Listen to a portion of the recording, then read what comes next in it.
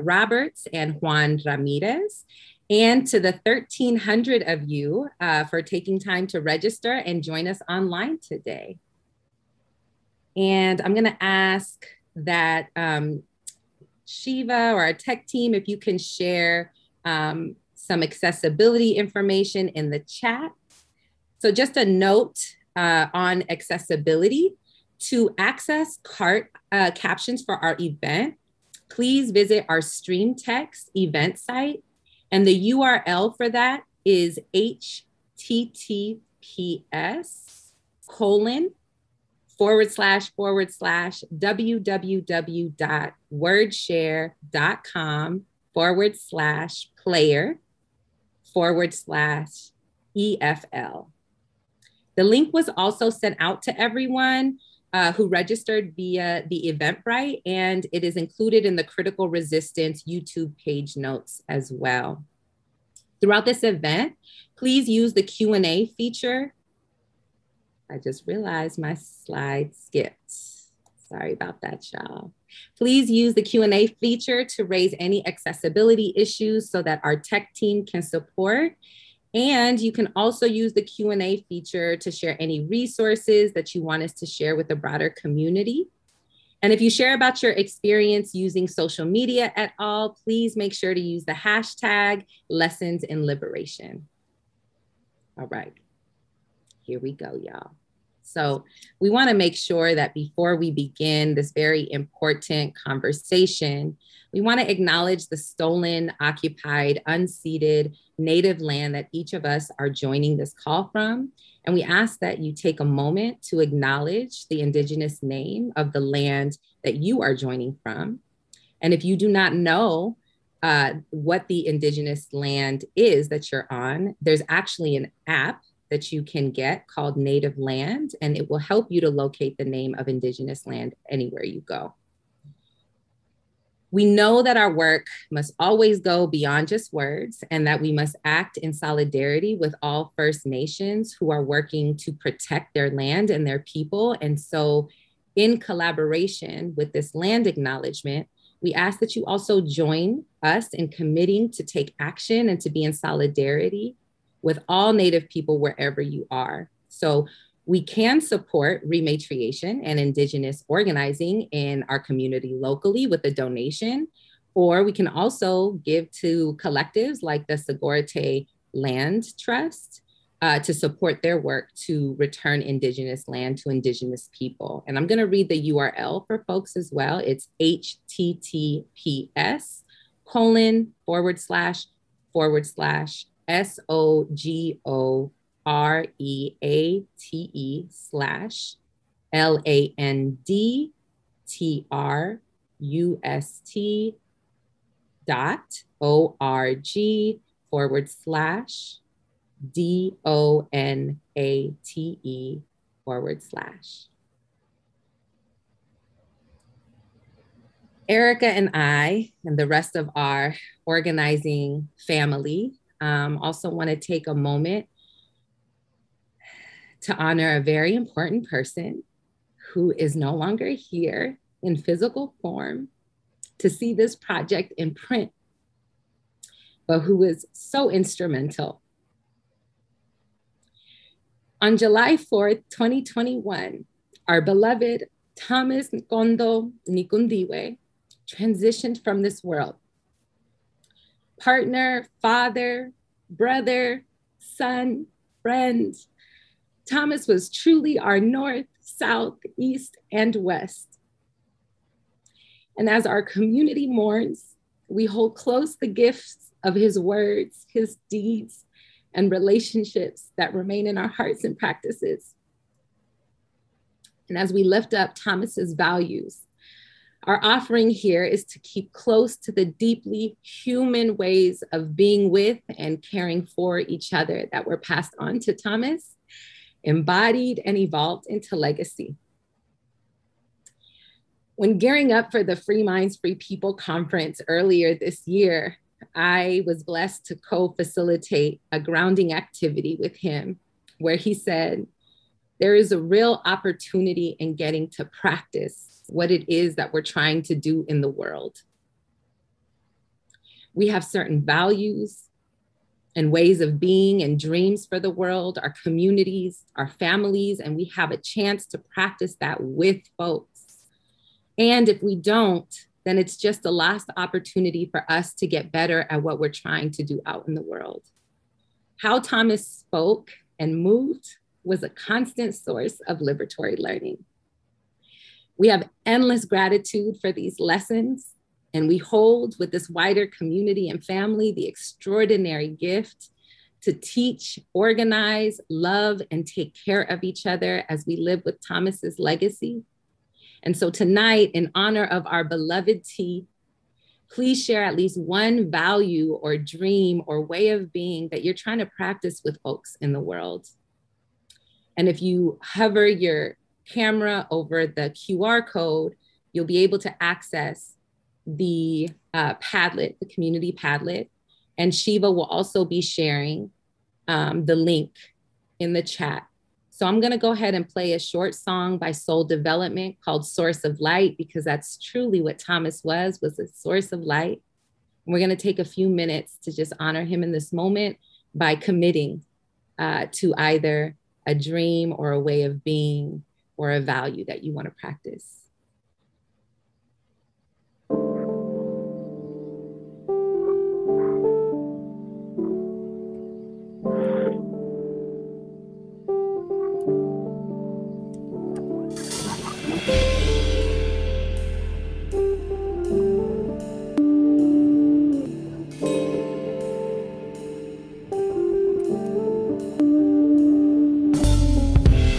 Time I feel the darkness all around me. I feel like my inner light is just drowning. But I give thanks to Jah that this light has found me. So now the darkness I feel stay far around me. Cause even in the tunnel, man, you still see the light. And in the toughest struggle, man, you still have to fight. And when them do you wrong, man, you still treat them right. Despite the fact that they can't see the light. See, I do this for my children who were products of condition. Until the day they realize they products of God's vision. The one who watched their papa cook product up in the kitchen. So when the system came to get them, took the family and split them. I mean, I do this for the students who find it hard to dream. But I'm also here to tell them it ain't as hard as it seems. Cause in the darkest hour, the stars are beautiful things if you follow closely enough. Well, it can be a dark world sometimes. Don't be afraid to be a source of light. It can be a dark world sometimes. But don't be afraid to be a source of light. Yo, check it. Don't ever be afraid for you to let your light shine. You were sent to use your talents as blessings to mankind. Even in the darkest hour, your purpose is still divine. And can't nobody take it from you. Your purpose has been assigned. And a force on earth as great as a person pushing the rise. The truth can free your mind even if they feeding you lies. I know it's hard to find the truth when you living a sea of lies. But if you couldn't see the light, you still feel it if you were blind. So in due time, I hope these rhymes unlock your mind and maybe they can help you find your getaway. And you know that what you reap is what you sow, then you believe tomorrow comes your better days. Thank you so much, y'all. Um, I'm looking at the um, at what folks wrote already in the Padlet. If you could just take a moment to just look at some of the values and ways of being that folks want to practice with others, it's hella inspiring. And I know that if Thomas could see that all of this was inspired by his legacy in this moment, I know he would be so, so, so honored. And he would say, That's all y'all. It ain't even about him. It's all y'all. It's about us and our liberation. So thank you for honoring him in this moment. We love you, T. This is because of you. I'm gonna pass it over to my comrade and sister in struggle, Dr. Erica Meiners.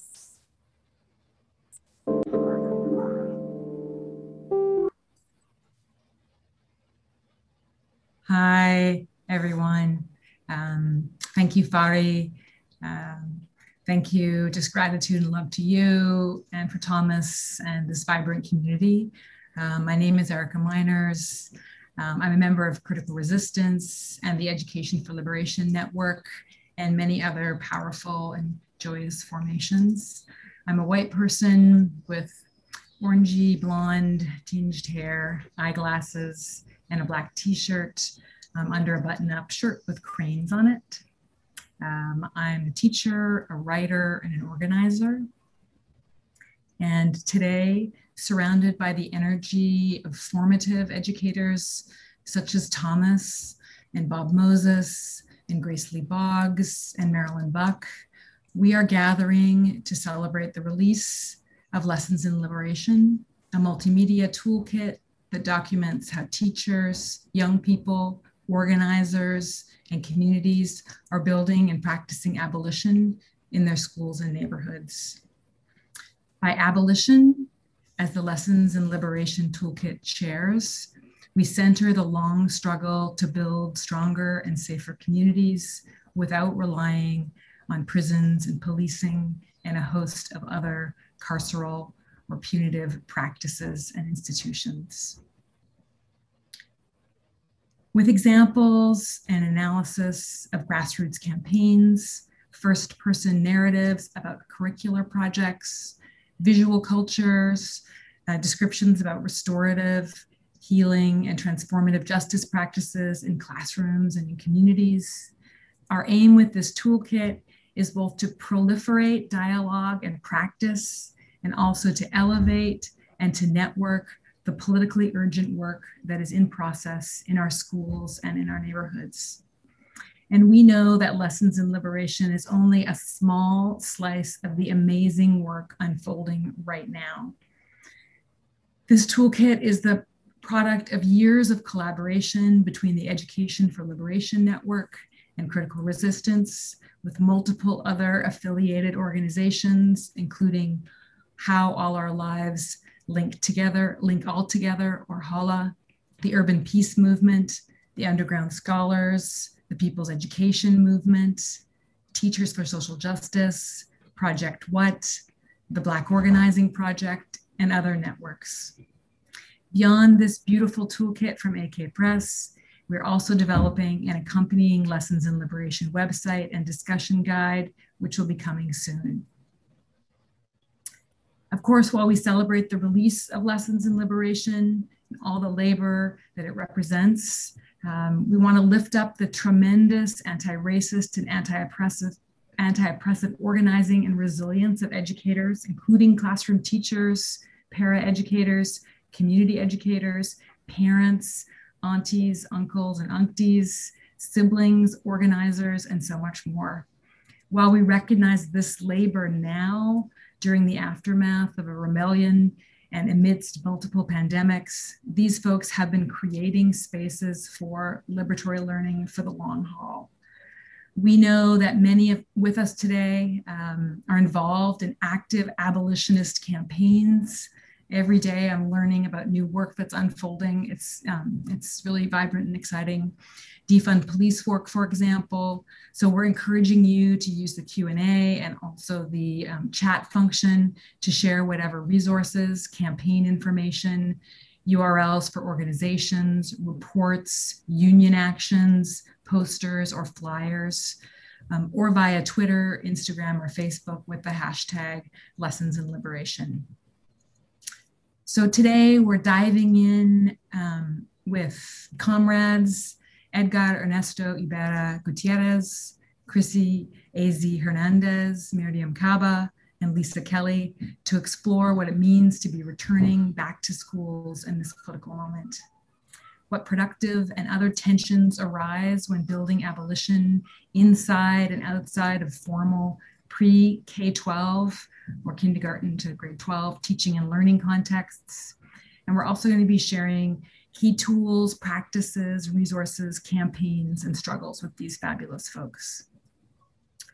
Um, but before we move to our discussion, we just want to open with a short, very short performance from our uh, fabulous New York com HOLLA comrades. And um, I think I think Shiva's going to cue that up for us.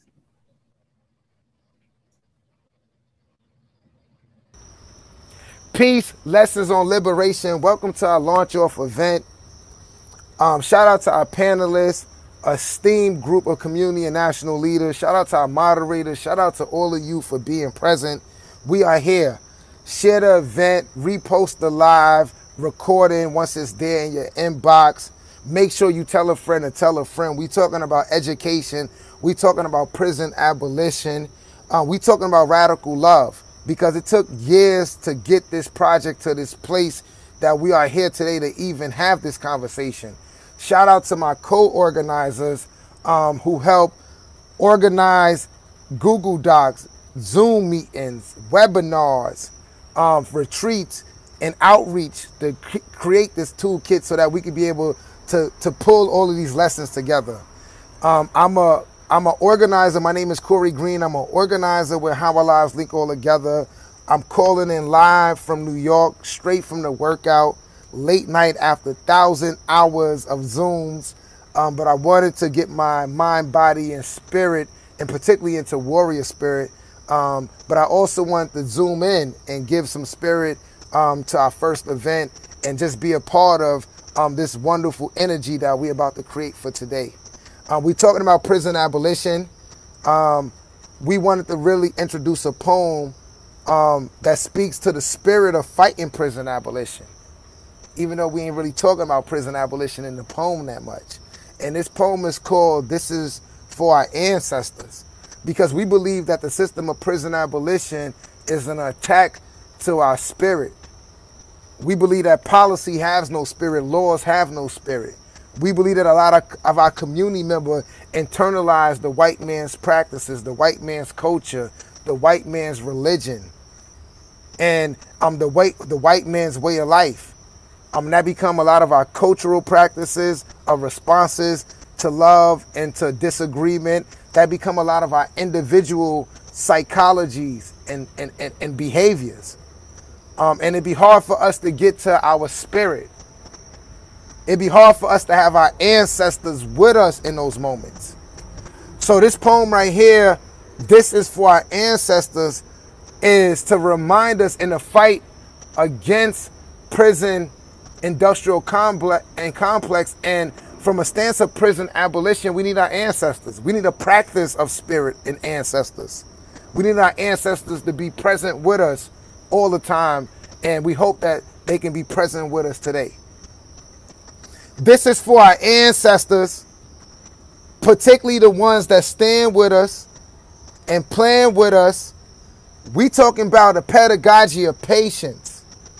They still waiting for your transformation and for us to heal from all the steel blazing and generation after generation of living out the plantation. This is for our ancestors, particularly the ones that kill, get killed for us sacrifice and build for us.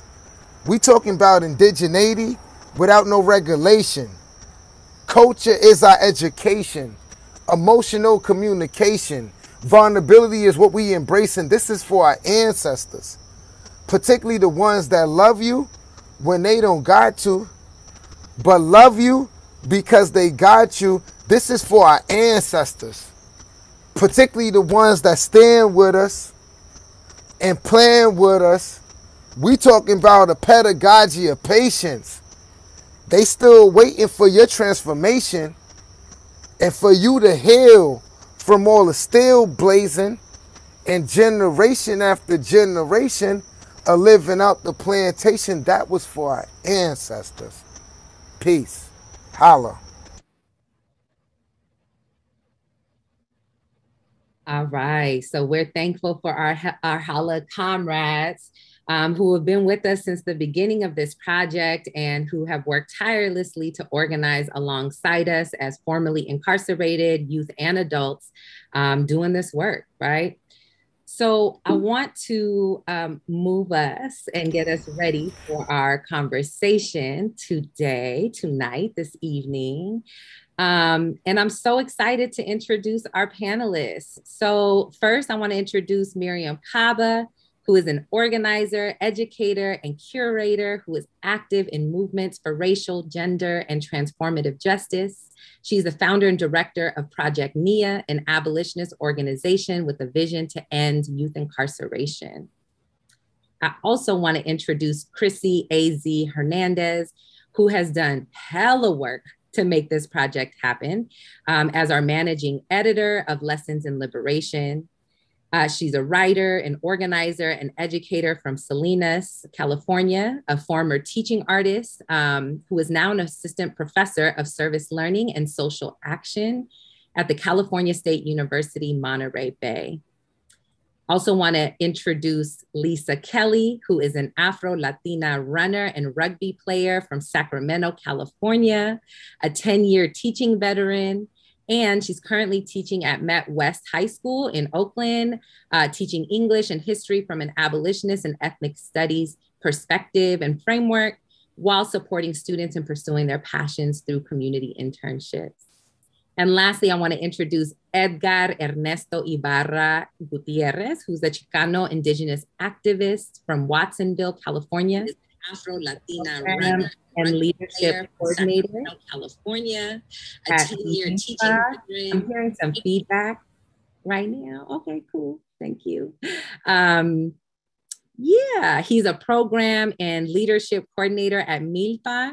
While experiencing the S2PP and incarceration, Edgar is now focused on ending mass incarceration and building community and people power through a healing and cultural lens.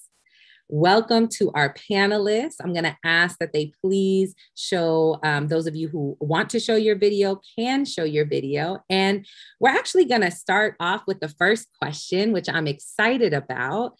And the order of um, speakers is going to be Chrissy first, then Edgar, Lisa, and Mariame, just so that you're prepared to just fall in once uh, the speaker before you um, finishes speaking. So, y'all, it is September 2021. And for those attached in some way to education, we're all either getting ready to go back or we're already back, whatever that even means, right? So the question to y'all is why do we even need to be talking about and doing abolition work now? So I'm going to go ahead and start with Chrissy.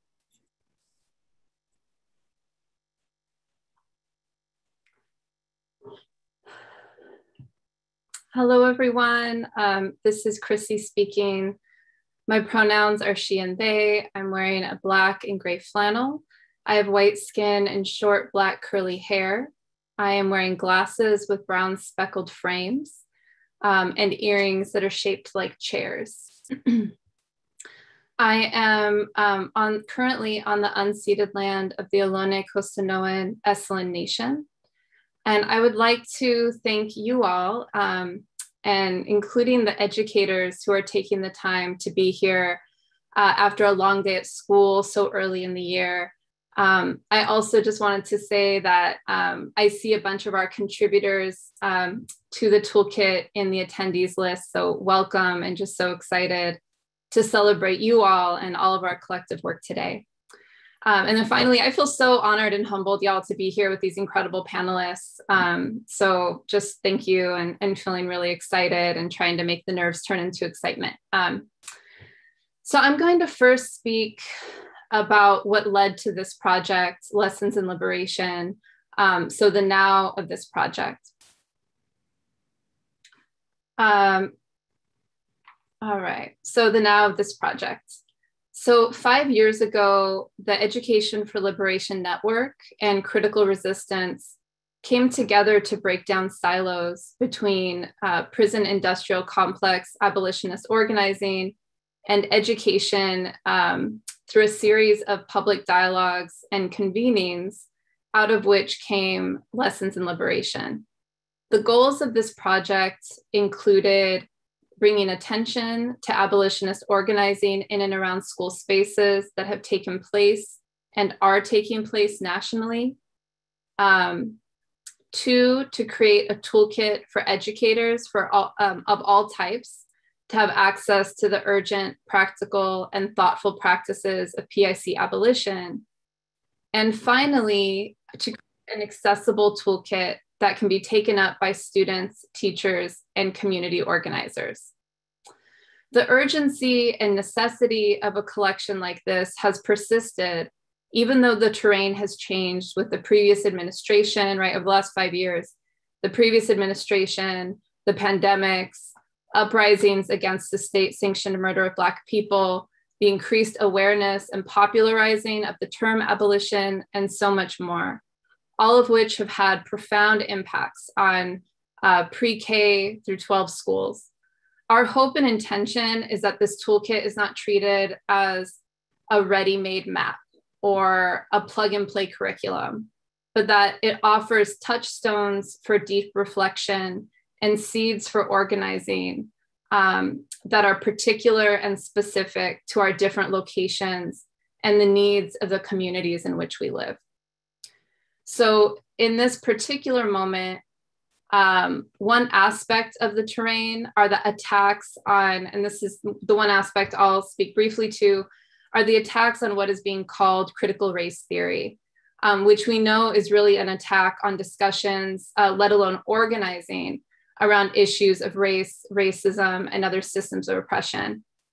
I think in periods um, of this kind of targeting, it's even more important to have clarity about the visions of education, of community that we're striving for. Um, the right has been consistently attempting to characterize this work as fundamentally destructive and about tearing things down when we know that abolition um, and ethnic studies and organizing against oppression is fundamentally invested, invested in an affirmative vision of the world. The collective work that has been poured and continued to be poured into Lessons in Liberation, um, into the publication, into the website, um, into these events, has been an example for me of uh, part of that affirmative vision. Um, it feel I feel like I have to speak to some of that um, because that collective work um, has been so nourishing. We've built relationships, uh, we've mourned, we've laughed, we've supported one another and organized through uh, together throughout messy and difficult times. We've held each other accountable with love and respect, and we've consistently had conversations about how we can move differently, um, how we can challenge a culture of taking, of extraction, of individualism, and how we can practice something different with one another. Um, and I think in this context in which everything feels um, often so bleak and so overwhelming, I think the affirmative vision of abolition is one of rigorous and practical hope that is invested in a culture of care, safety, and freedom um, that looks different in different places, but it's a vision that can guide us now. Thanks.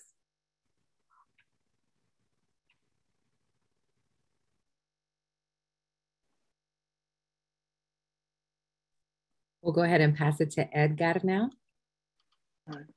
Hey, y'all, Piyali, uh, Kualitla Yoa. Buenas tardes. Uh, my name is Edgar Ibarra. Um, I'm a light, light brown, brown Chicano indigenous man. I've got a short buzz cut, kind of like a fade going on right now, rimmed, black rimmed, Ray-Ban glasses.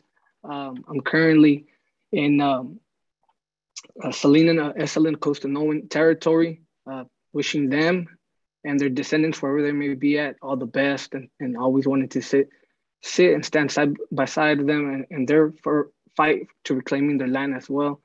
And uh, just really wanted to just start off, but it's an honor and a pleasure to be here in front of y'all. It's uh, it's always it like being alongside all these amazing panelists and what they've done, their trajectory, their work, everything. It's it's like an honor, and I can only show up in the best way, you know. And that's with uh, my ancestors uh, with the spirit of my mother, spirit of my father, and my, my ancestors in that way. And uh, just share what I know and the little bit of experiences that I know, which is not much. Um, formerly incarcerated man who was doing his best, you know, just trying to give back to the community and and change a lot of the things that, that I did in the past. But uh, and and answering the question, I think I was I've been thinking about this a lot. Why do we need to be doing doing continue to talk about abolition and, and actually doing it in, in our communities in the schools and um, i think one of the biggest things is right now we're in, in a critical moment during like so covid-19 uh, everything that's happening from last year from the uprisings uh, it has really shined a light on what's happening in our communities. The you know the, the obvious like disproportionate realities of, of wealth, wealth income disparities and everything that's happening that like folks are really struggling. And um that just shines a light of like again what's happening and, and, and when it needs to take place but also really having to for myself having to really uh, focus hyper like on, on a low focus locally on a, like hyper focus locally on what we need to be doing as far as challenging the system to be there at the school system, uh, the city council, the county, and really pushing for uh, this conversation to be had. A lot of folks shine away from having this conversation around abolition. And again, we, we continue to hear this narrative throughout throughout the country about like all you know critical race theory and just all these different things that folks how they however they want to paint it. But again, it's we need to be courageous in having these conversations to bringing them to light and continue to talk about them. I think most importantly, especially with this, you know, what's going on at the national level and at the world level, that you know we're gonna have troops coming back home, and uh, those troops are gonna need work, and potentially we're gonna see a lot of more. Uh, correctional officers, more police officers, and how do we change, challenge that narrative? How do we challenge that issue? How do we provide jobs that don't uh, or, or, opportunities for these folks who are coming back so actually they can fall in line and help our communities in, in a way that doesn't incarcerate, doesn't punish in, in that sense, which those are going to be the jobs lining up. So really thinking about that and having to again have those conversations, not just at, within the school settings, but within our families, within our cousins, our tias, our grandmas, abuelitas, having everybody really recognize that this abolitionist mind frame, thought process, uh, way of life needs to be embraced, and uh, but also really thinking of how we show up for one another, thinking of the, like the cross cultural solidarity and healing that needs to take place within amongst a lot of the movement spaces. So just thinking of what I can do and how I can support others, but also thinking of all movement humility. You know, uh, I know there's a lot of things taking place. A lot of folks know a lot of things, and uh, how do we just show up in our humble way and support one another, and think and just at the end of the day, knowing that hey, you know, one of my uncles always says, "I don't know nothing," you know, I don't know nothing, and just just show up and be able to willing to support, stand uh, side by side, sometimes a little bit behind, sometimes a little bit in the front, but whatever way it is at that moment that we're uh, called to to stand, just be able to show up like that for one another. I'll say that much. Palabra.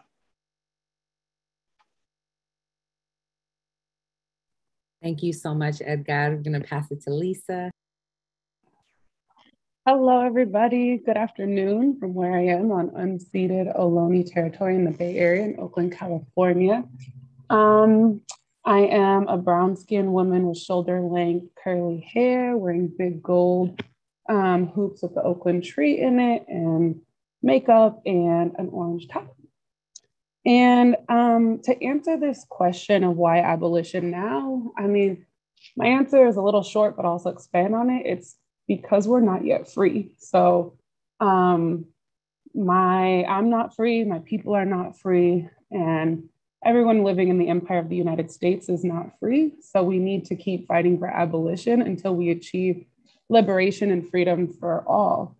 Um, to expand on that, I want to quote um, my sisters Farima and Marilyn, who wrote on page 170 of the incredible toolkit book in their article, Why Spiritual Revival Matters.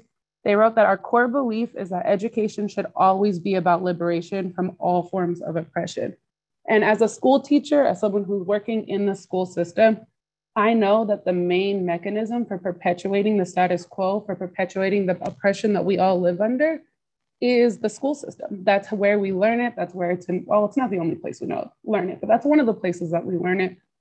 One of the places where it's enforced and one of the, the places where the status quo is perpetuated. So if I'm going to be an abolitionist educator, an anti racist educator, an educator who believes in the liberation of my people, then I need to be teaching that in the classroom. I need to be actively using an abolitionist framework in my practice. And I need to be considering every decision and move that I make and understanding am I moving towards the humanization of my students? Am I moving towards the liberation of my students and every and my colleagues and myself? And it's exhausting work to do that, to constantly question and interrogate myself and interrogate what we're doing. And I'm not always going to be able to answer yes to that question because I am in the oppressive schooling system. But if I'm not willing to do that hard work and I'm not willing to make mistakes and I'm not willing to try, then I personally believe I shouldn't be in education. I should ask myself, why am I teaching if I'm not willing to teach for the liberation of my students? So for me, the reason we need to keep talking about abolition is because we are not yet free. Thanks. Thank you, Lisa. And we will pass it to Mariame. Hello, everyone. Good evening. Um, I am Mariame Kaba, and um, I use she, her pronouns. Um, I am a Black person. The image on the screen is a photograph. Um, I have a head covering. I'm wearing a brown and burgundy jacket-ish thing and some brown piece earrings.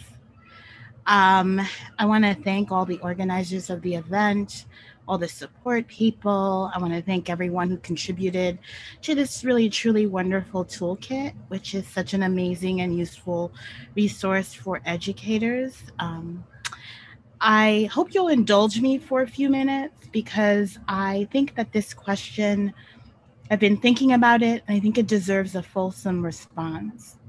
So, this summer at Project NIA, we offered a virtual abolitionist organizing institute for um, over 60 young people between the ages of 16 to 24. And it's the second summer that we've done this kind of virtual institute. Um, and what that experience reinforced for me is that we should really always be talking about prison industrial complex or PIC abolition because it's an emancipatory political vision, because it's an analytic framework for understanding structural oppressions, and because it's a viable and useful organizing strategy, right? We know that abolition is a project of making things and of constantly iterating ideas and also of dreaming we need all those things in education, right? We need to be making new things. We need to be constantly iterating ideas. We need to be dreaming. We need an emancipatory political vision for education. But let me be more concrete because I'm a concrete person and I like to have examples. So, abolition is a collective project, right? PIC abolitionists know that we cannot be lone rangers so, what does that mean under our current conditions? And just about a few days ago, my friend, the brilliant abolitionist educator and organizer Laura McTighe, shared on Facebook how she opened her class with her college students recently. And I want to share her words with you all tonight. Because to me, they truly encapsulate abolitionist teaching and practice. So I'm going to read um, Laura's words. I think that um, I sent them in advance to our interpreters, so hopefully um, it'll be easier to follow along. And don't worry, when I'm done with reading these words, I will make sure that I include them in the chat so that everybody can have them as well. So here's how Laura starts. Meeting my 49 gender and religion students today impressed upon me that we are in the midst of a disaster. And also what it means to say that and work from that truth. If I've learned anything from my decade plus of being in community in New Orleans, it's that we make the conditions of our survival and thriving together because our world is and has long been divided into, and here she quotes Ruth Wilson Gilmore those who have suffered organized abandonment and those who labor in the area of organized violence to keep steady the otherwise explosive conditions that people are living through. Unquote.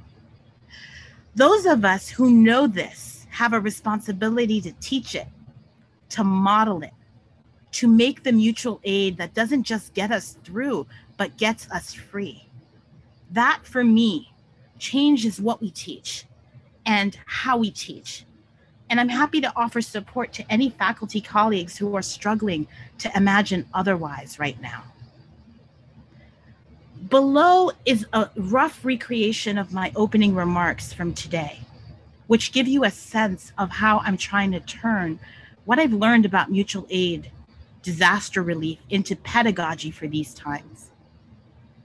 Thank you for all that you are doing and all that you are learning.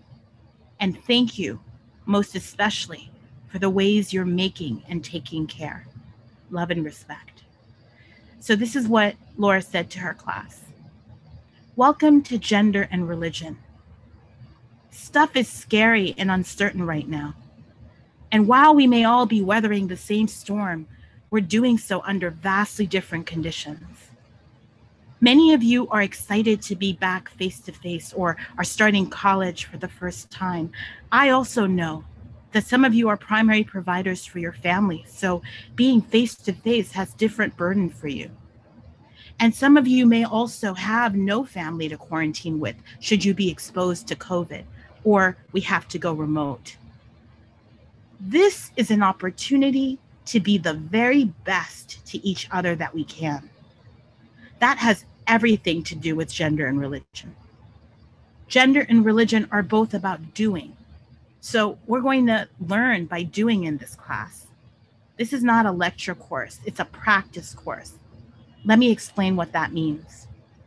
We will have four units tools, space, stories, community. Each one will be three weeks long. They're cumulative and also independent. So if we are if we suddenly have to go remote, we'll have an easier time staying on track. And we'll do that together. Each unit will open with an introduction, followed by a practice session. Then we'll work with primary sources, followed by another practice session. Then we'll close out with presentations from you. To make this class run, we'll be dividing into small groups, pods of six.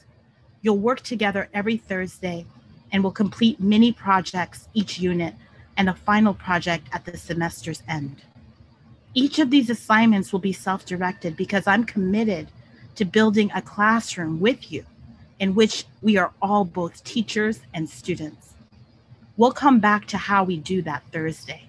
For now, I just need to know if you're willing to give the experiment a try. Okay?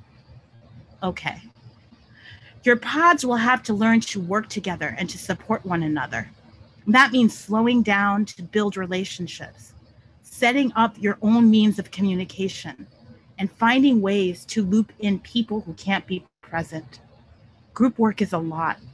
Nearly all of my students have said that my courses are the only ones they don't hate doing group work in.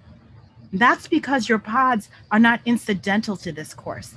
They are the foundation that makes everything we do possible. Remember, this is an opportunity to be the very best to each other we can. This is the biggest learning objective for this course. Thank you for joining me on this journey. A few years ago, so I read a book by an artist and writer that I admire named Trinh T. It's titled Elsewhere Within Here. And in Minh-ha's formulation, elsewhere within here means dislocation and displacement. It connotes feeling out of place or othered in a place that's supposed to be home. But for me, when I hear elsewhere within here, the term evokes something different. It evokes a prefigurative politics. And I mean prefiguration in the way that it's been theorized by some anarchist scholars and understood as an experimental construction of new communal and social relations within our current world. So, in other words, the practice of creating new social relations within oppressive systems and societies.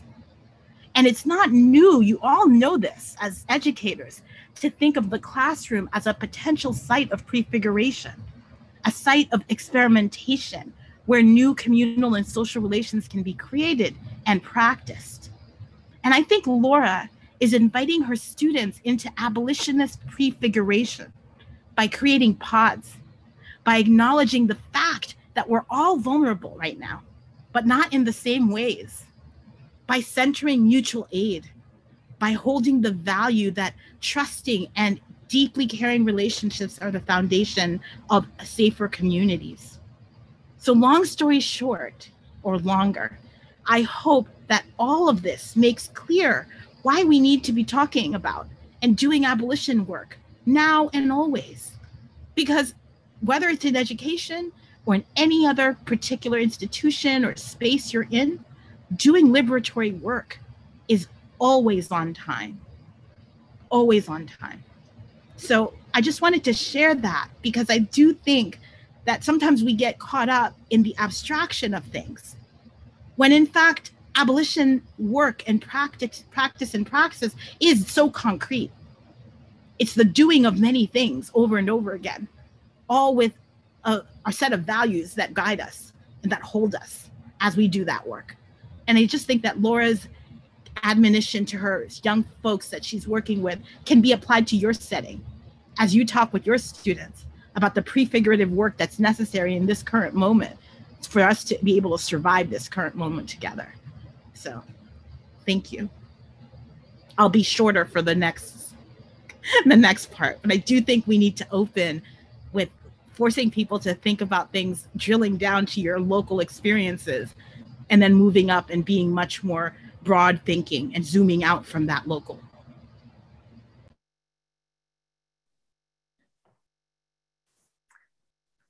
No need to be shorter. Um, this is Erica again, and I'm moving to question two. And in many ways, um, sort of Lisa's comments, Mariame's comments, Edgar's comments, um, Chrissy's comments have already sort of led us into this question. Um, but the question is about the tensions around institutionalization or working within an institution or a structure or a system. Um, abolitionist has work, work has always had a public or pedagogical component. Um, it's always been about creating opportunities to learn and unlearn, for example, about safety. I think our defund uh, uh, uh, police movement has really been um, instrumental in kind of creating new opportunities for people to rethink safety. Um, but this toolkit, our fabulous toolkit, is geared towards people working or connected to in some way um, pre K 12 teaching and learning contexts. And I think for us on the editorial team, we had many, many, many, many questions about what it meant to bring some of this work into these contexts. So could you all talk a little, um, what does it mean when we bring um, and we think abolition and education together? Um, and when I'm talking about education here, I'm talking about these structures and systems. Um, what does it um, what does what, what does it bring into scrutiny what tensions emerge and also what possibilities and so uh, we're going to start with Lisa, then Mariame, Edgar, and Chrissy. Hello, this is Lisa speaking again. Um, to answer the question, what this brings under scrutiny for me is the fact that school is a carceral project. And as somebody highlighted in the question and answer box, um, school is separate from education, right? So school as the project of being in a building, in classrooms, you know, the traditional view of how school is done. School is a carceral project. Schools look like prisons. They are often built by the same people who build prisons. Um, and as we know by the school to prison nexus, right, it often feeds directly um, into prisons, and that's not accidental, it's very much on purpose. And so, as a classroom teacher, something that I'm always contemplating is what there's so many things in schools that are under the guise of safety, right? Safety for students, but actually translate into control for students.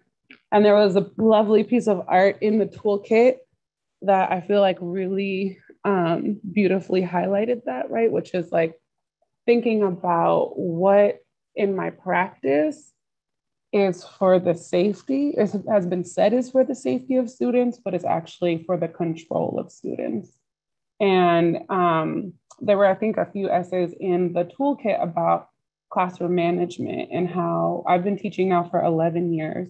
And so when I, I wrote my thesis way back in the day about classroom management because I was so fascinated with the idea of trying to create a classroom where harm didn't happen. I had some kind of fairy tale that if I did all the right things as a teacher, that my students wouldn't commit harm against each other and I would be a good teacher if students, um, you know, never had issues with each other. They didn't fight in my classroom, and I had good control over them. I had good classroom management. But what that really meant was that I got very, very good at controlling kids' bodies, and I got very, very good at um, controlling their movements and both through the environment and through my actions. Um, and I was, I, you know, just controlling what kids did. And I was praised for this as a teacher early in my career because my classroom was so orderly, my classroom was so neat, um, and kids were quote unquote safe in my classroom.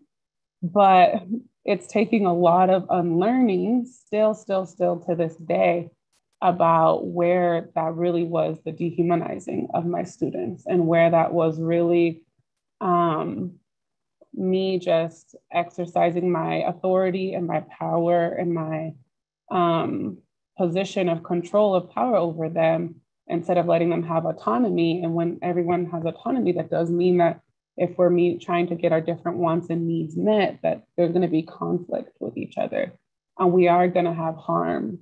And so, what I've been really bringing to my classroom this year is thinking about instead of trying to create a perfect environment where harm doesn't happen, how can I create an environment where harm is addressed?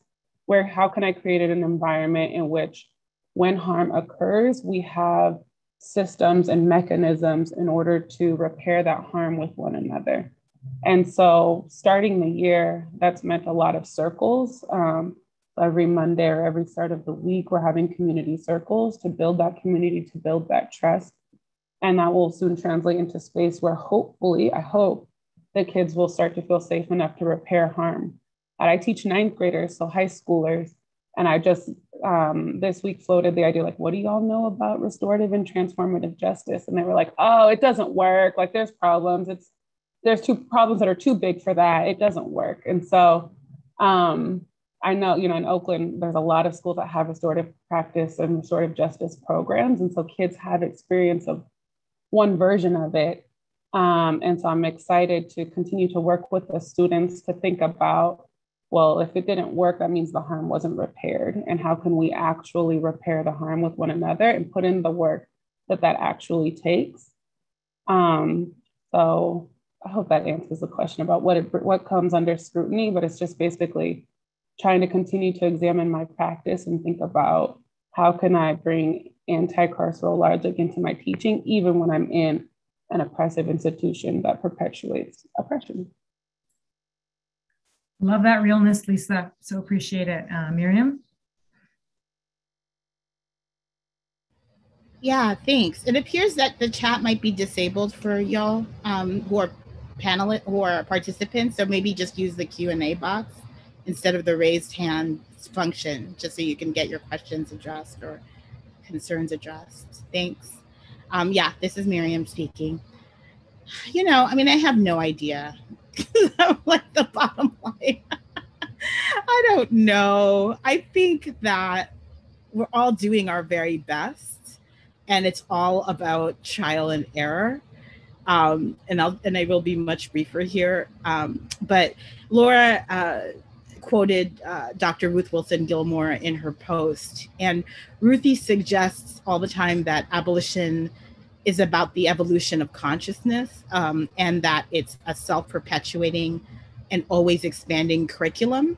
And I really like that. I like those ideas of an evolution of consciousness. And I love the idea of a self uh, perpetuating and always expanding curriculum. Um, and that's probably just, you know, because I'm a teacher and an educator and I like the idea of curriculum and building curriculum and what we can do with that. Um, so I think there's you know, Ruthie's one of the best educators I know. So taking what she says seriously, I guess, for me means that abolition demands less of a focus on kind of having the right answer and more of a focus on generative questions. And I think that you can easily bring that into any setting, but you can definitely bring that into a classroom setting. Um, what do we need education to be to allow for the formulation of better questions. Better questions amongst the students better questions with your colleagues better questions from your administrators better questions from you to them.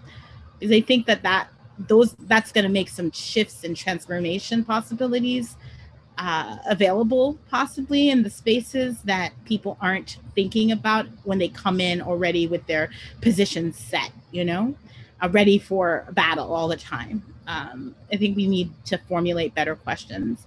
Um, the wonderful writer and organizer Harsha Walia asks a generative generative question that really is foundational to my abolitionist praxis. And Harsha asked years ago, like the basic question that I think we all need to be asking as organizers who are doing abolitionist organizing, which is, is what we're doing increasing the possibility of freedom?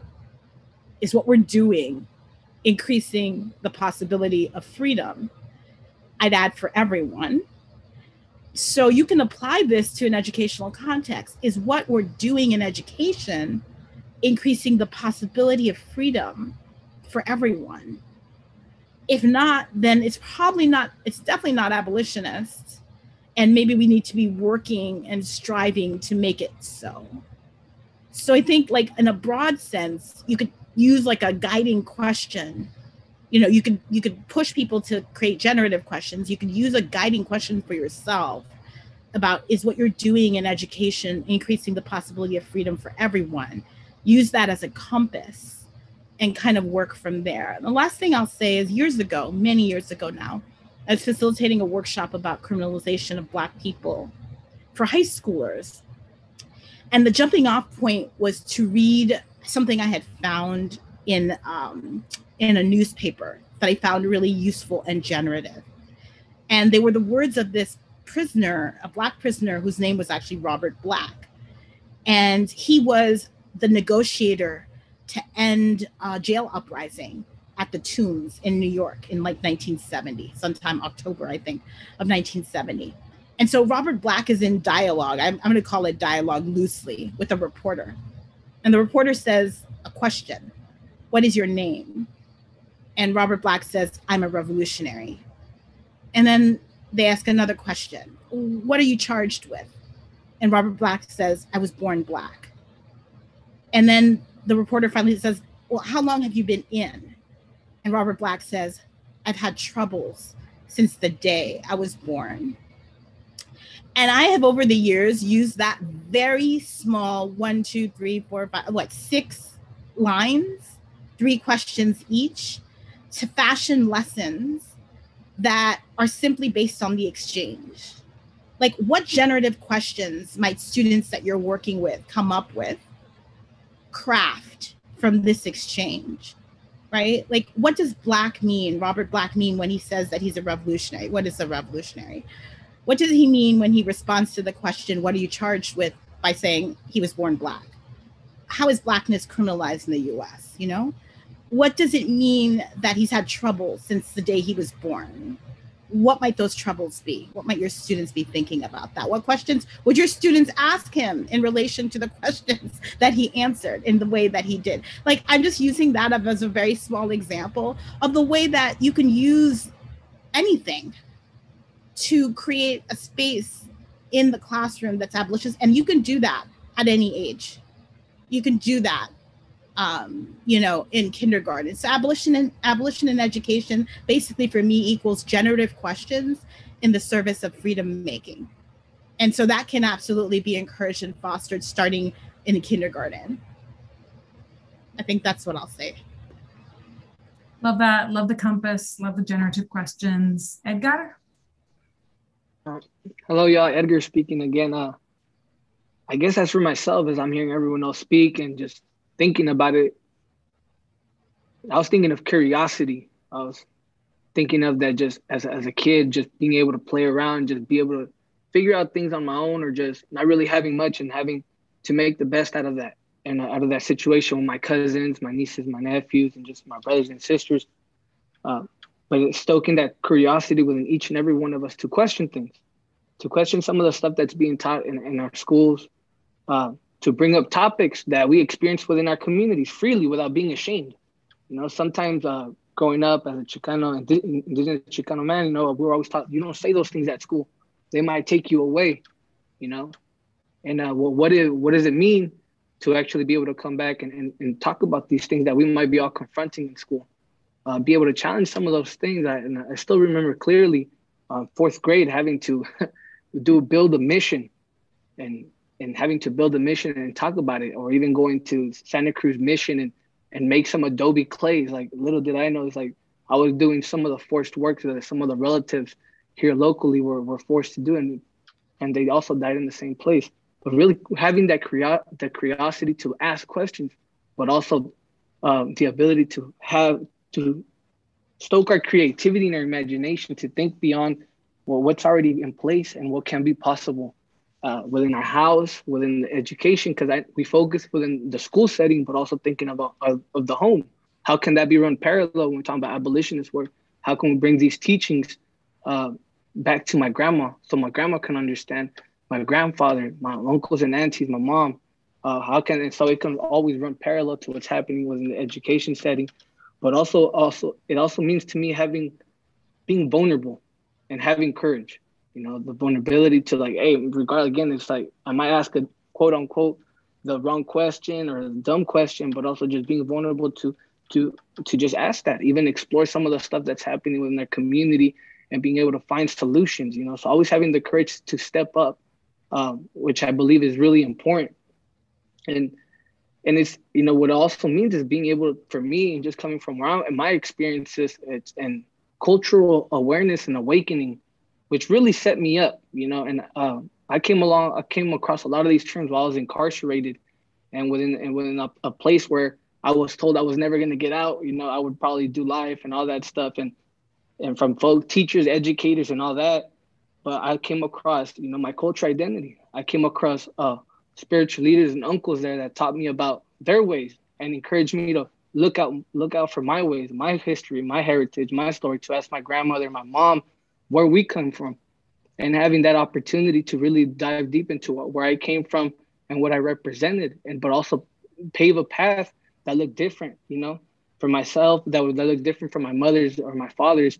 Uh, but it's that that's really an opportunity for my. That's how I look at abolition within the education system and but also thinking of like when I was incarcerated as a kid, I spent my whole high school years locked up, and the the education I received while incarcerated, it was a booklet. It was like here, take this pack. No opportunity to really stoke any type of uh, creativity or imagination or anything like that. So just thinking of like what can what can be done there. Reach some of those young people who are the leaders in their communities. Some of those folks that people are looked up to. How do we reach them uh, reach out to them and, and stoke their curiosity have them pose those questions you know have them come up with those solutions that i believe their answers are all there. Some of the smartest most uh, brightest artistic folks that i've met are in there and uh, just really thinking of again our curiosity the, the, opportunity to be vulnerable and courageous and and challenge some of those education settings and, and i think we do it every single day. Some of the times these young kids ask always constantly asking us or asking me my nieces and nephews like what is that and why? Why? Why why why? They're always asking me why and it's like and sometimes i don't have the answers. It's like can you help me out? You know and for me just being a little bit older it's just like it's okay. Like we can probably figure this out together but just being vulnerable and open and to just exploring those solutions with them and, and just even just the conversation is beautiful at times. You know with my grandma to my four year old niece or nephew it's it's a beautiful thing. And uh, and i think if we can be able to achieve that within the school setting then, then it's beautiful um, there's always going to be barriers, and we're going to see that through a lot of the policies and legislations. But it's like, hey, we got to continue to do what we do, you know, from the streets all the way to the school system and and to the prisons.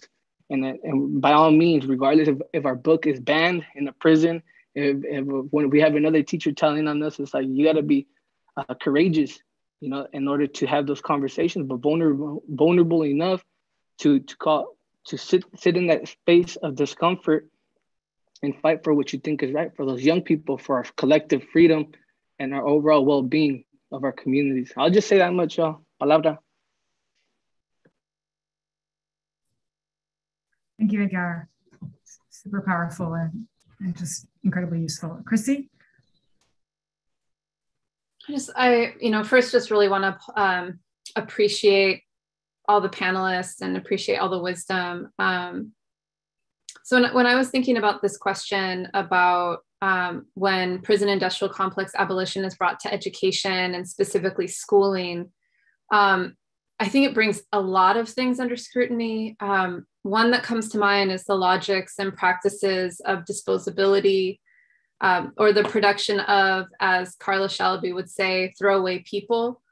Um, I think it forces us to consider how these logics and practices are reflected across institutions, um, including prisons, healthcare, and of course, schools. So for me, scrutinizing disposability um, raises so much about how young people are sorted, about punitive policies and practices that pervade our schools, about anti Blackness and racism in our schools and communities, um, and also raises those tensions that we've really grappled with that's inherent of bringing those kind of abolitionist practices into school spaces, as has been um, talked about by other panelists. Um, and this entrenchment of disposability in schools uh, through an abolitionist lens makes me also come back to this question of education to what ends um, for what project. And I really love the question um, that Mariame raised, um, uh, quoting Harsha Walia, right, around the possibilities of freedom and increasing the possibilities of freedom.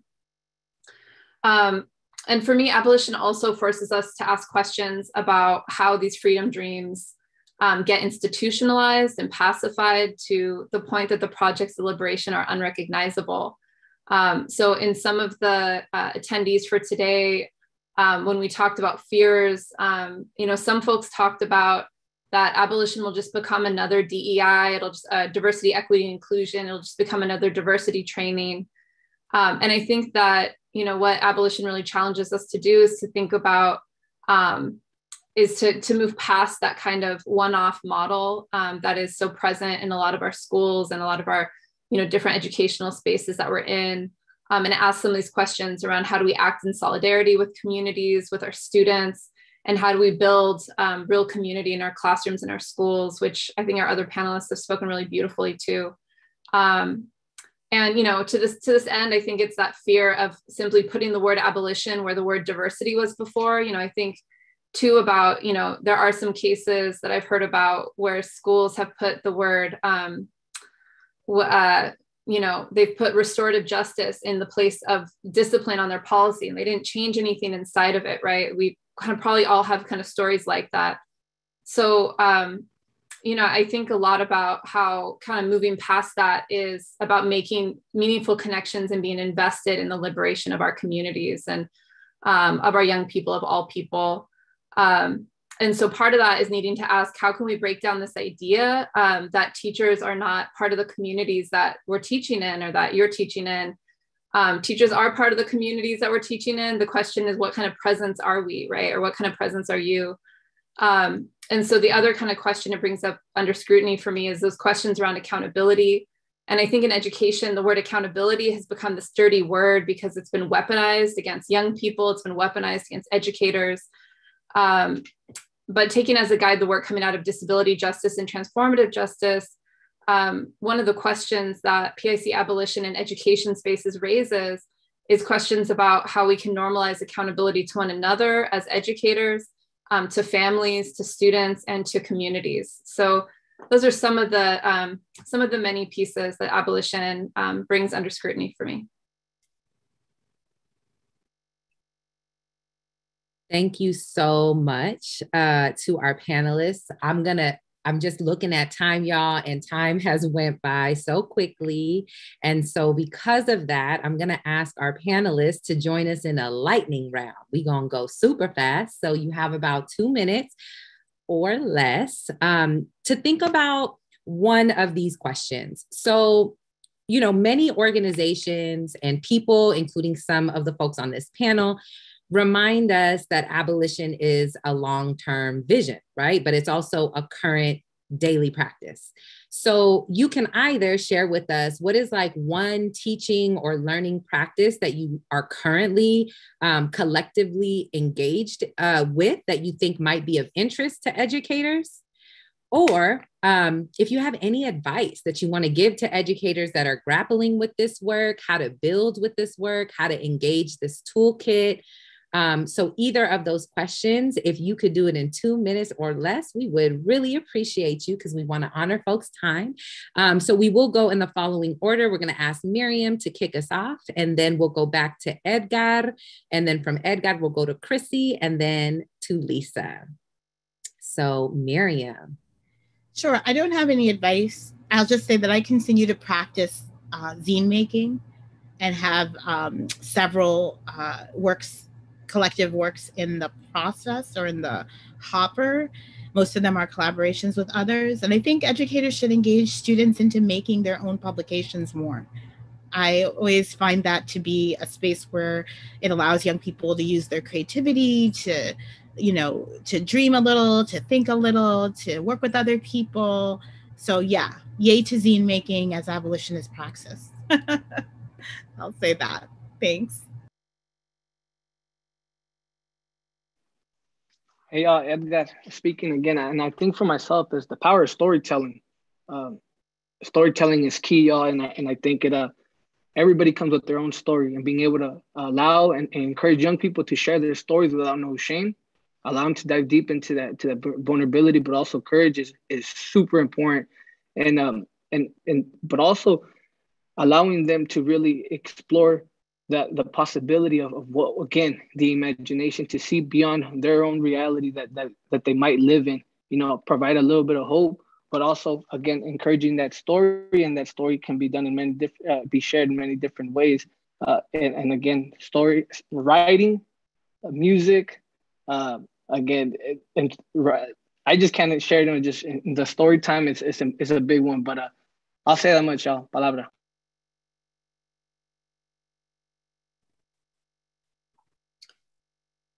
Great. Um, so I will just add, I'm debating between the two, but I think that I will, um, you know, one of the things that um, Erica says a lot, right, is that this is long, long haul work, um, right? That this is, this is not kind of just right now, but it's, we're working towards the long haul. So I think the advice would be find your people. I think that's been one of the more powerful things um, that um, I've learned in this project and, you know, find also folks that are going to work with you to nurture those affirmative visions that, um, that I was talking about.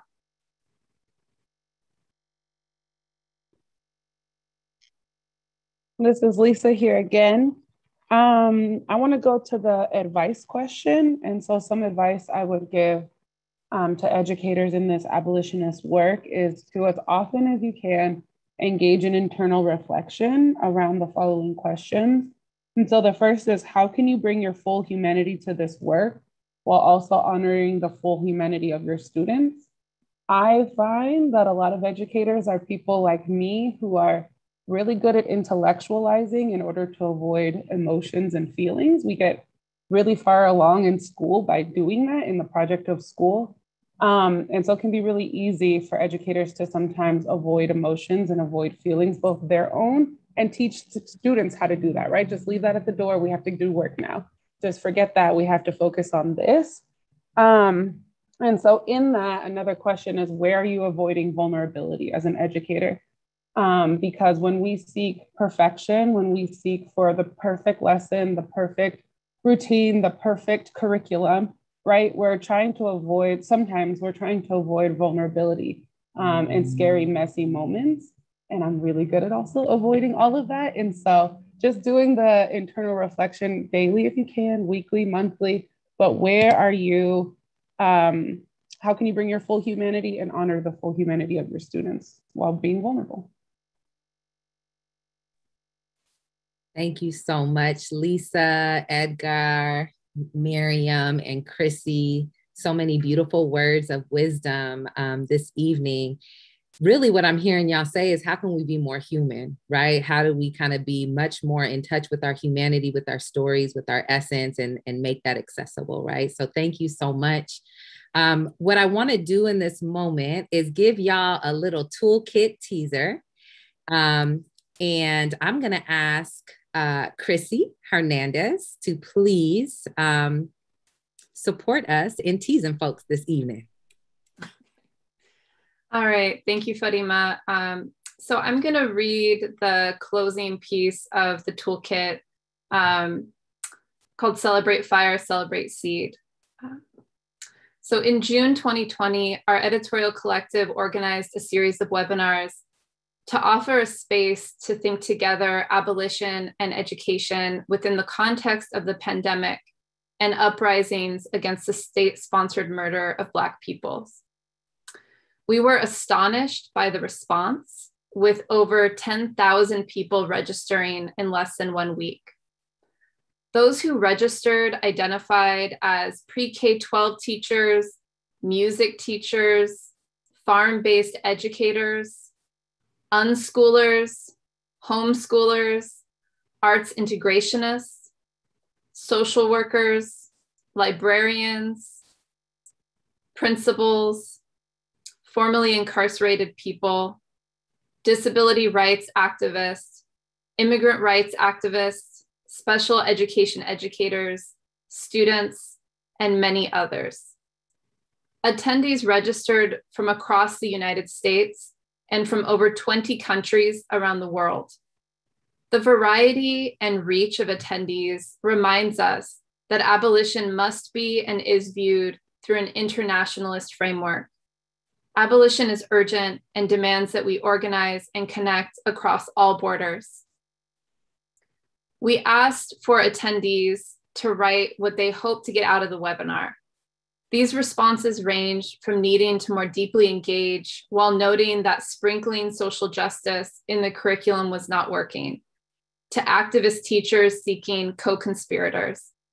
Many wrote about fire, a fire within, wanting to burn the system down, needing a spark, feeling burnt out, and feeling a light dim, not to mention love for the fire, fire panelists we honor that the fire so many wrote about, celebrated, mourned, and longed for is a fire nourished by Black and Indigenous liberation struggles across the globe. To honor the voices of the thousands who gathered virtually to dream abolition into education that day, and to honor you on your journey, we have written a poem composed from lines drawn from the 10,214 responses we humbly offer it as a collective meditation, a love offering on education for liberation.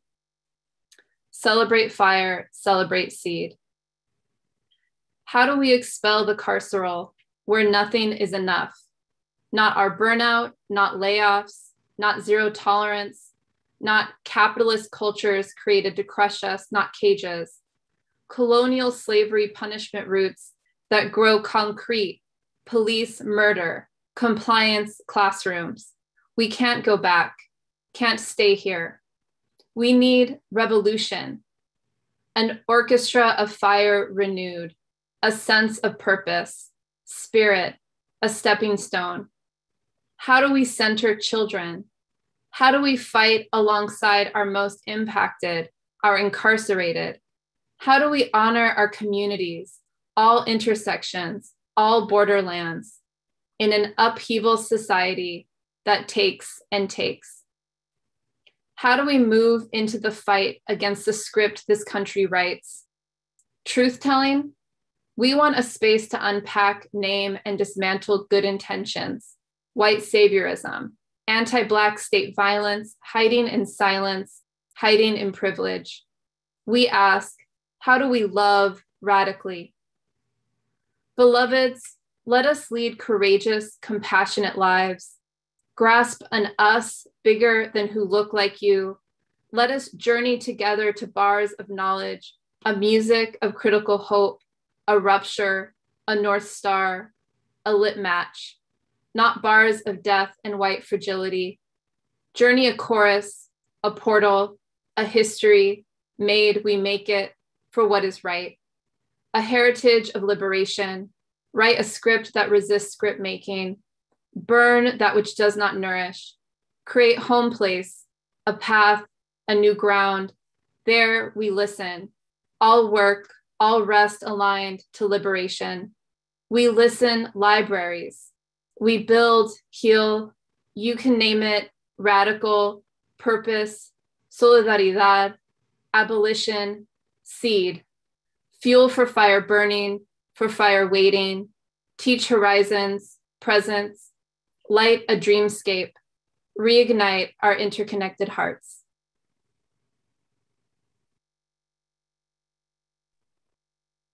Thank you so much, Chrissy, for sharing um, that piece of the toolkit with us. And what we want to do is I'm going to ask folks to just reflect for a moment. Um, and we, because we're out of time, I'm going to pass it to Erica so she can close us out. But I would love for y'all to just take a moment and maybe share one takeaway uh, from this evening's conversation in this community Padlet. Um, you can hover over the QR code and it will take you to the Padlet. Otherwise, Tech will share it in the chat just one takeaway that you want to hold close from this conversation. And as you are doing that, I'm going to go ahead and pass it over to my sis, Erica. We are just so grateful, um, you know, so humbled. I really appreciated Edgar's movement, humility for um, all the folks that have joined us tonight. I know many of us are coming from a long day of work. Some of us still have work ahead of us. Um, and many of us are participating in care and movement work. Um, so just appreciative of the community that has gathered this evening and has supported this project over the years. Um, so we want to thank all the contributors. Many of them are on the call tonight um, um, in the Lessons in Liberation, and particularly our four amazing and brilliant panelists tonight, Chrissy and Lisa and Mariame and Edgar.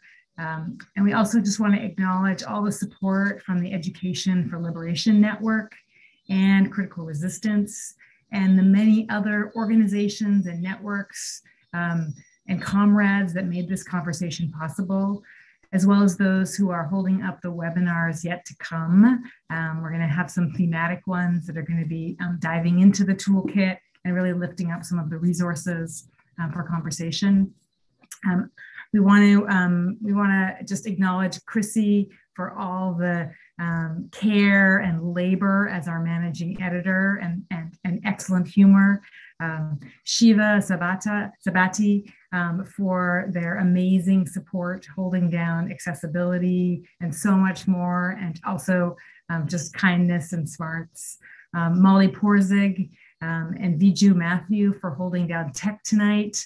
Um, so amazing. Our ASL interpreters tonight, Joe, Cookie, Sean, and Juan. Um, Sally from the AI media team for providing CART, C-A-R-T, captions tonight. Um, Corey, uh, Corey Green from HOLLA from the, for the opening poem, and also just the wider Lessons in Liberation editorial collective that please join us for the upcoming webinars. You'll get to meet the rest of the editorial collective over the next few webinars. Um, and also just deep gratitude to AK Press for their um, care and support with this really beautiful um, project. Um, um, if you want to rewind, rewatch, or share today's panel, um, it's going to be available on the YouTube and Facebook pages of Critical Resistance and the Free Minds, Free People site of the Education for Liberation Network. Um, with that, um, we are going to close uh, a minute ahead of schedule and um, just sending love and care to the community and looking forward to um, the shared work that is going to continue to erupt and emerge over um, the days and weeks and years to come, the long haul. Thank you.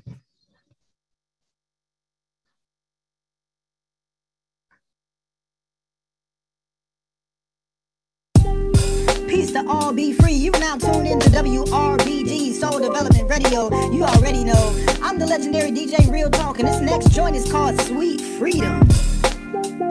Could I choose to be silent and say I care about it? I raise my voice to raise awareness till they hear about it.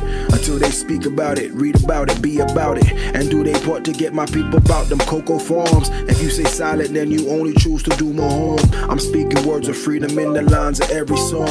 My people need them, we won't stop till ain't no slaves at all. Cause if I'm free and you ain't free, then we ain't free at all. You gotta evolve and get involved. I am my brother's keeper. And greedy companies exploit the kids because it's cheaper. I challenge every artist with a voice to choose to speak up. If we unite, we manifest anything that we speak of. with the sweet. It's so much bigger than you and me. So much better when we're free. When we come together, freedom never tastes so good. Sweet taste of freedom. Freedom never tastes so good. Sweet taste of freedom. Yo.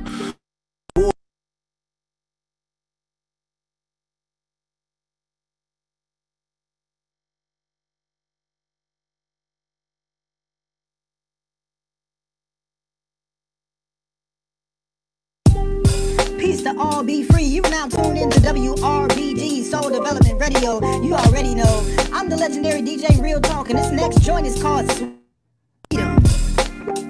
How could I choose to be silent and say I care about it? I raise my voice to raise awareness till they hear about it. Until they speak about it, read about it, be about it. And do they part to get my people about them cocoa farms? If you say silent, then you only choose to do more harm. I'm speaking words of freedom in the lines of every song. My people need them, we won't stop till ain't no slaves at all. Cause if I'm free and you ain't free, then we ain't free at all. You gotta evolve and get involved. I am my brother's keeper. And greedy companies exploit the kids because it's cheaper. I challenge every artist with a voice to choose to speak up. If we unite, we manifest anything that we speak of. It's so much bigger than you and me. So much better when we're free, when we come together. Freedom never tastes so good. Sweet taste of freedom, freedom never tastes so good. Sweet taste of freedom. Yo. There's a war going on outside, and it ain't safe, but it's hard to keep the faith when the pistol is in your face. Finger on the trigger that just might control your fate. First, they shot us while we marched, then they bombed us while we prayed. Stole our bodies, then beat our bodies to be somebody's slave. Made a killing off of the living that forced us in the grave. Fast forward today, niggas ain't scared to die. Some of us will escape, and others too scared to try. Many of us were weak, and others too hurt to cry. If you gangster about your freedom, now's the time to mobilize. Libya to India, and every prison bump between. If they ain't free, then you ain't free. Don't let them sell you no false dream. Sweet. It's so much bigger than you and me. So much better when we're free. When we come together, freedom never tastes so good. Sweet taste of freedom. Freedom never tastes so good. Sweet taste of freedom. I mean, how do you know that there's a social problem to which you can be change agent and walk away from that opportunity? And I know that that fight isn't separate from the fight we fight here in the States every day. We're talking about educating children to give them access to opportunities, something that I stand by and do every day. But how do I not then have the ability to not just see my students or the young folks in my community, but the young folks home in the motherland, continental Africa? I couldn't imagine not taking responsibility. I couldn't imagine not taking an invitation to be a part of a social change.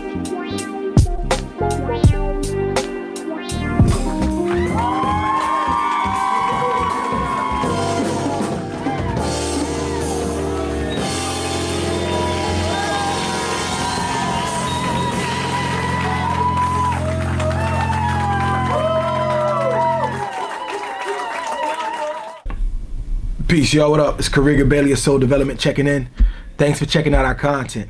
Um, check out the link in the bio. Engage with us as we disrupt hopelessness. Remember, you can be part of the solution or part of the crowd that watches it pass by. Peace.